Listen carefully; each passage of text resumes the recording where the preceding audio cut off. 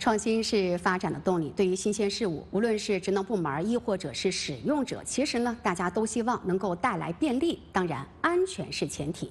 如何兼顾安全和便捷？我们来听听特约评论员林泽龙的建议。为了切实保护未成年人，国家的法律法规对未成年人使用交通工具有着明确的年龄限制。这就是呢。驾驶自行车、三轮车必须年满十二周岁；驾驶电动自行车和残疾人机动轮椅车呢，必须年满十六周岁；驾驶机动车辆呢，必须年满十八周岁，并且取得机动车驾驶证。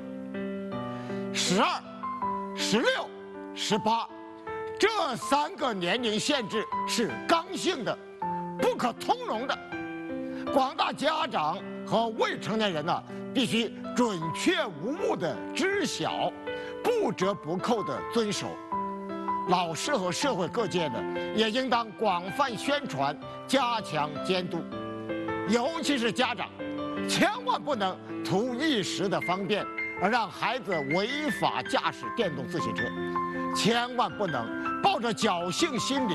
对孩子驾驶电动自行车睁只眼闭只眼，否则很可能付出伤亡的惨重代价。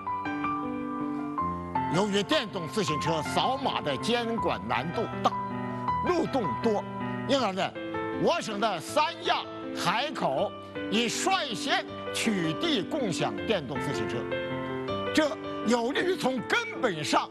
消除未成年人驾驶电动自行车的隐患，减少交通事故，有效地确保人民群众生命财产的安全。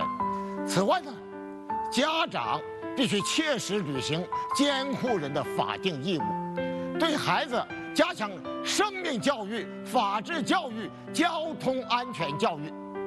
对家长自用的电动自行车呢，必须严格按照法律法规的要求严加管理，严禁不符合法规规定的未成年人驾驶电动自行车。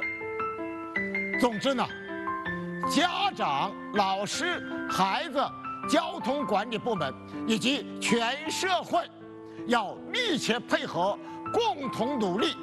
绝不能让共享电动自行车变成共享安全隐患呐！